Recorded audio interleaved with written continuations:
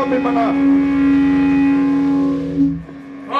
Hyvää illan jatkoa ja erinomaista kaunista Nauttikaa Turku, turkulaista homoerotiikasta.